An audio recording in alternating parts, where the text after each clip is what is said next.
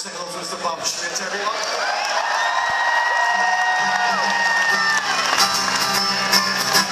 Some call the sun to the closed doors.